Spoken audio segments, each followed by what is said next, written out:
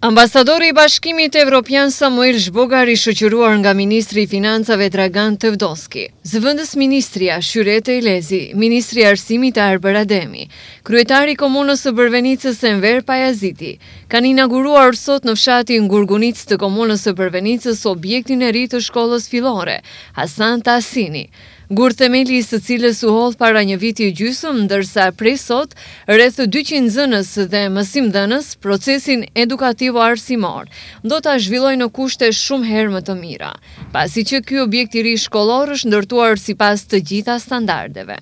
Ministri i Financave i Republikës së Maqedonisë së Veriut, Dragan Tevdovski, theksoi se realizimi i këtij projekti për ndërtimin e objektit të ri të kësaj shkolle, ka kushtuar dyzet e gjashtë milionë denarë, mjete këto të siguruara përmes një kredie nga Banka Botërore dhe një granti nga Bashkimi Evropian. Ovo uçilishte çini çetirieset i shest milioni denari, od koi obezbedeni se preku preku del se preku kredit. Kjo shkollë ka kushtuar dyzet e gjashtë milionë denarë.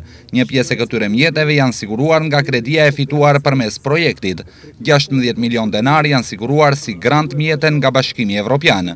Është me rëndësi të theksohet se edhe kredia që është fituar për realizimin e këtij projekti është siguruar me kushte shumë të favorshme dhe për këtë unë dua që t'i falënderohem edhe Bankës Botërore dhe Bashkimit Evropian.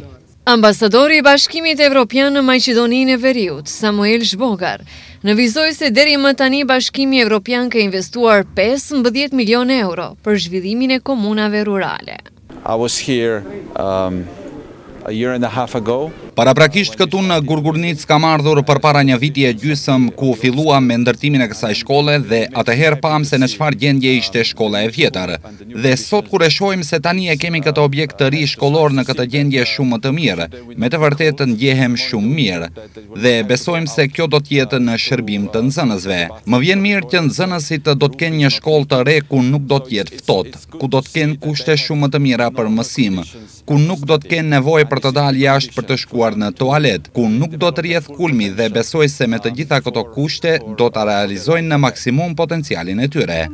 Ministri i Arsimit dhe Shkencës i Republikës së Maqedonisë së Veriut, Arbër Ademi, theksoi se përpjekjet e ministrisë që ai drejton vazhdojnë në krijimin e një infrastrukture moderne bashkëkohore në fushën e arsimit. Sigurisht se përpjekjet tona vazhdojnë për krijimin e një infrastrukture moderne bashkëkohore në çdo cep të Republikës Maqedonisë në fushën e arsimit. Ministria e Arsimit dhe Shkencës në këtë shkollë ka bërë investimin me mjete duke siguruar mobiljet e nevojshme në një vlerë mbi shtatëqind mijë denarësh, kuptohet pasi që është përfunduar me sukses ndërtimi i objektit shkollor. Të pranishmit në përurimin e objektit të ri shkollor i përshëndeti dhe falenderoi edhe kryetari i Komunës së Bërvenicës, Enver Pajaziti.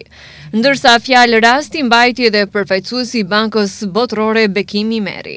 Me programin për përmirësimin e shërbimeve të pushtetit lokal, Me ndihmën e grantit nga Bashkimi Evropian, kishim sukses në zbatim të Ministrisë Financave ta përfundojnë projektin e shkollës së Gurgurnicës. Dhe ky projekt është me randësi për shkak se krijon kushte më të mira për mësim të nxansave. Ta gëzojnë shkollën e re qytetarët dhe nxansit e fshatit Gurgurnicë. Unë mendoj se këto nxanës me këtë shkollë të re dhe arsimtarët gjithashtu, drejtori, do të japin nga vetja edhe më shumë do të bëjnë që të rritet kualiteti i mësimit në këtë shkollë. Përndryshe objekti i ri shkollor i plotëson të gjitha kushtet e nevojshme për zhvillimin normal të procesit edukativo-arsimor, sepse i njëjti është ndërtuar sipas të gjitha standardeve më moderne dhe ka në dispozicion mjetet sa më bashkëkohore arsimore.